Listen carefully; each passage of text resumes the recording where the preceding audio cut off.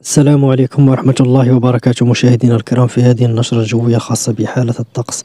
في المغرب إن شاء الله بعد الزوال اليوم والأيام القادمة سوف نوافيكم بآخر التوقعات وكذلك المدن المعنية إن شاء الله بالتساقطات المطرية.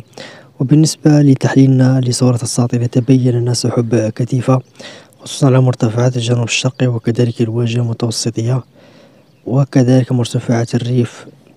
وبالنسبة كذلك لتساقطات الأمطار فمن المتوقع إن شاء الله استمرار بعض التساقطات المطرية على تطوان وأصيلة العرائش شفشاون ووزان لالة ميمونة وسيدي علال التازي والرباط سيدي سليمان وبن سليمان كذلك الرماني والكارة وسطات وأمطار كذلك ضعيفة على أولماس وكذلك مكناس إفرانس كورمتاس وفاس وتاهلة تساقطات مطرية على خنيفرة وميدلت مع احتمال بعض تساقطات الثلجية الضعيفة على ميدلت أمطار حاضر على الريش وآسول وبني ملال وزود الشيخ بالنسبة للفترة الليلية فيتوقع استمرار تساقطات مطرية رعدية خصوصا على مرزوقة وزاكورة وآرفود.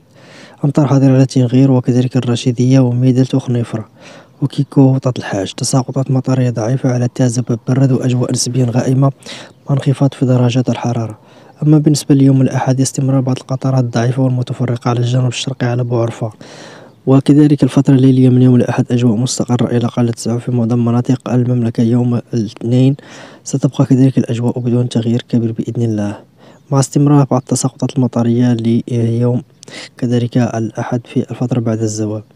خلال الأيام المقبلة إن شاء الله فيتوقع دخول بعض التساقطات ربما تكون ضعيفة محليا. على جنوب المملكة بإذن الله. بالنسبة كذلك ليوم الجمعة المقبل فستبقى الأجواء نسبيا غائمة على أو سرد مع احتمال بعض التساقطات الضعيفة والمتفرقة. يوم السبت أجواء مستقرة إلى قليلة السحب في معظم مناطق المملكة. بالنسبة ليوم الأحد كذلك فيتوقع اقتراب منخفض جوي كبير كما تلاحظون. سنرى إذا كان سيدخل خلال الأيام القادمة.